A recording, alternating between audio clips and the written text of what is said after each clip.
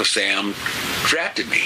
In Vietnam, his job was to dispose of enemy personnel, to kill. Army. I finished Rangers SF or S, Ranger and SF selection.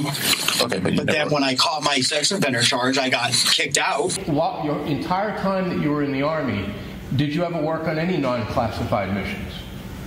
Uh, probably not. We- in action, so I joined the Army, was a Ranger, and then I went SF, and then And then I became, while I was in the military, I became Special Forces, Green Beret for the United States Army. I recruited him, I trained him, I commanded him in Vietnam for three years. Now, before every Reddit warrior wanted to become a SEAL, they wanted to become a Green Beret. Remember the movie Rambo? It's good to hear your voice, Johnny. It's been a long time. Young men wanted to be like Rambo, tough as nails. But can you spot the stolen valor village idiots that easy? Some of them are pretty well trained. Let's take a gander. Vietnam was the first integrated wall. First time that you didn't have no all black units, all Asian units. You had everybody together. And and President Johnson, to my surprise, he was gun ho civil rights. And he's a white Texan, you know, congressman, and he wanted everything integrated. He wanted uh, blacks. It sure sounds good, but let me ask a question. Did President Johnson want it just because he was virtuous, or did we need bodies to go to Vietnam? What was the what do you think really happened here? all in special forces. So anyway, so I was drafted into special forces, and so um, so anyway, the lieutenant had my record. I'm not an expert on the draft in Vietnam, but I don't know that anybody got drafted for special forces. Maybe you got drafted, they determine what MOS, what job you're going to do. And if you're that kind of stud, maybe they dropped you into special forces. This seems a little bit out there, but I could be off. And he said, "You know about covert operations?" Yeah, because technically we didn't exist. We were like uh, James Bond. Yes, we were trained like James Bond. James Bond. Our bosses in Vietnam was the CIA.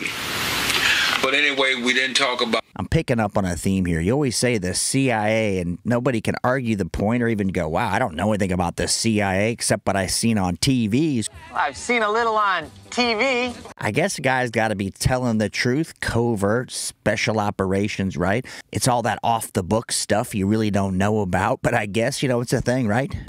where we went. You know, we went to places that we weren't supposed to be, and normally we didn't have no idea anything on us. But anyway, with that qualification, he said, I'm taking you downtown. 1964, Uncle Sam said, Hey, Uncle Sam needs you now. And that was it. Next thing you know, I'm going into the military. You were wounded in Vietnam. Let's talk about that. Yes, it was um, a covert situation. We, it didn't exist. If we were playing a drinking game together, watching some of the Stolen Valor Village Idiot videos, every time you heard covert you had to drink, you'd probably be hammered because there's a lot of covert stuff going on that none of us seem to know about, and all of a sudden they get injured, they're off the books. But do the real SF studs, like tier one guys, do they use the word covert anymore? They just not bring it up or just don't get into this level of detail? Let me know. Ambush, uh, hit in the left leg, uh, twice in the left leg, and once in the right hip. After I got to Army Hospital and came home in uh, 66, the biggest thing that hurt me was that we returned, there was no love. I mean, we didn't invent the Vietnam Wall. We didn't start the Vietnam Wall. We served our country, and really we didn't have no choice. Special forces at one point. I was with the Army. What did you do in the Now, we all know Jeremy DeWitt, but hold on a second. Don't cut out. You probably haven't heard this audio. So he's being interviewed by the police department, and they're getting into his military covert, CIA off the books kind of stuff here. Army? I finished Rangers SF or S, Ranger and SF selection. Okay, but But then when I caught my sex offender charge, I got kicked out. Okay, so you never actually were tabbed to Special Forces or Ranger. I have my tabs. I was given my tabs. I was tabbed when I training because I was with when I was in college ROTC. They sent me to those schools and I graduated those schools. So you. I went to Ranger at Benning, and yes. So he got kicked out of SF Rangers because he's a pedo, but he's got the tab. He doesn't have the scroll. Got the tab. Trying to keep up with Jeremy's logic here, and the even the cops going, "I'm not getting this, bro." So you got kicked out, but you finished the training, but you got the tab, but you didn't get the tab. I'm confused. Just to check with the Department of Defense that your DOD, DD214 would say that you are I have a DD214. I was never. I was with ROTC only. I went to pre- programs there over summer programs. In what high school? No, no, no, college. In college. Yeah. So But if the you first two years of college. I don't know a lot about ROTC, but if you go during the summer, you finish Ranger school. I, I guess you could do it in the summer. Seems a little short time frame, but if you finish, do you get the tab and then you go to? He was also a Ranger or SF, but he's in ROTC. This is a new one for me. Help me understand. ROTC, you're not required to swear, or you don't So swear. you're telling me? Oh, well, no, no, no. Listen, it is a Department of Defense school. I'm a former major in the Army. Okay, I'm telling you right now. If I checked you with the Department of Defense, they That's an inconvenient situation. He's dealing with a police officer that's a former major in the Army, so he can smell the bullshit coming out of Jeremy's mouth. He's like going, Listen, I don't get it. I know you're an ROTC, but you went to all these schools. You got kicked out for being a PED, but you got the scroll. You got the tab, but you didn't get either, but you did. uh, You know, follow me. I'm, I'm, I'm lost. everybody has to be manifest or rostered in any class. You're telling me, in fact, you were in fact in SF school. No, Robin, Sa- Rob, Robin Sage and Ra- Ranger School. Ranger school at Fort Benning. And you completed how long is Ranger School? It's well, the school that we went to is eight weeks. Eight weeks. Yes.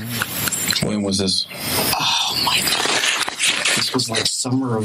Because I don't want you to get caught with stolen valor situation now. No, this was summer of.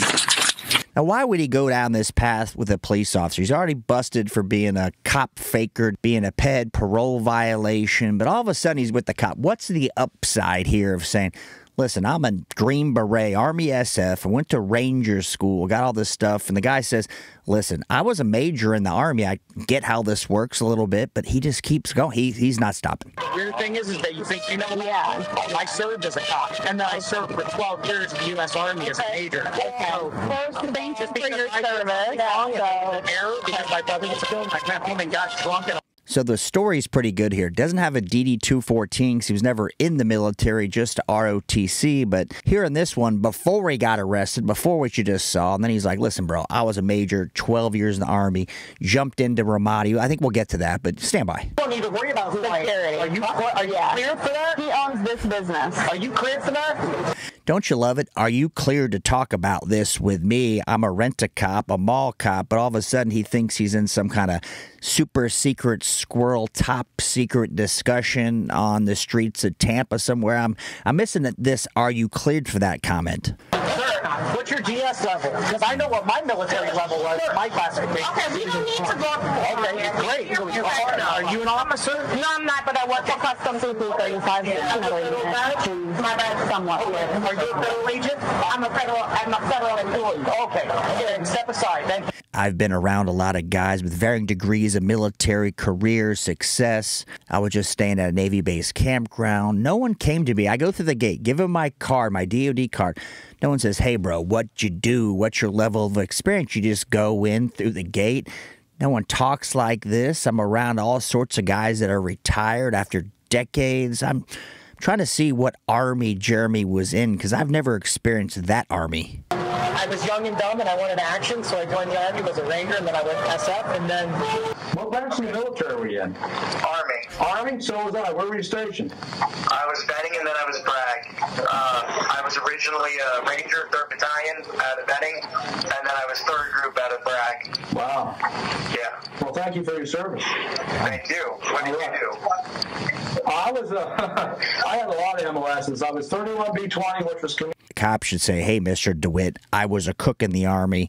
After I transferred from supply, I was into the hardcore shit, bro." See what Jeremy says on that one. communications, and then I was 16F Foxtrot, which was the M42 Duster. That's why I wear the hearing aids. I was on that more than anything. Uh-huh. Huh. Yeah, that was uh, definitely probably uh, different times, different times. He's like, that was uh, uh, different times, different times, bro. I don't even know what the hell you're talking about. You caught me. How do I get out of this as quickly as possible? So, you know, but yeah, I was 18 series, so I was 18 MLS. So my last, my last six and a half years, seven years almost. Wow. So, So you jumped.